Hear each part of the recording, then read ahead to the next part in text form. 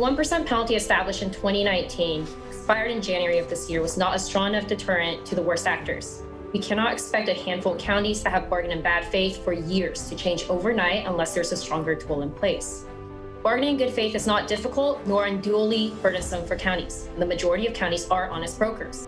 Bad faith bargaining is putting a zero cent proposal on the table, regressive bargaining tactics, and purposely dragging out negotiations for years.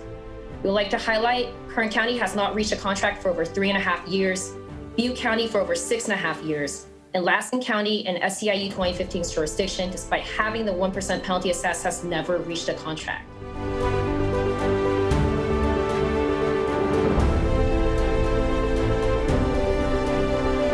These three counties haven't bargained in bad faith. They just failed to reach an agreement from what they put out as an offer.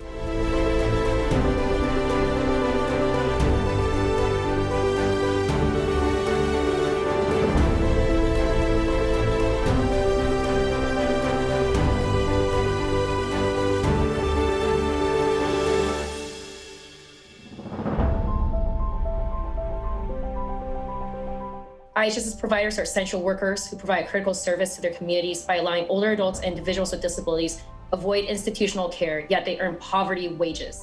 It's truly a disgrace that they continue to be disrespected at the bargaining table. With a turnover rate nearing 40%, these recalcitrant counties are decimating our care workforce and endangering thousands of lives.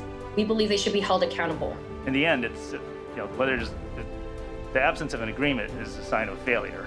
So. Um, so whatever incentives we have in place, and in fact, the penalties only apply if there isn't uh, an agreement. So, you know, I, I, hear the concern about the penalty, but if there's, as long as they can come to an agreement, we're fine.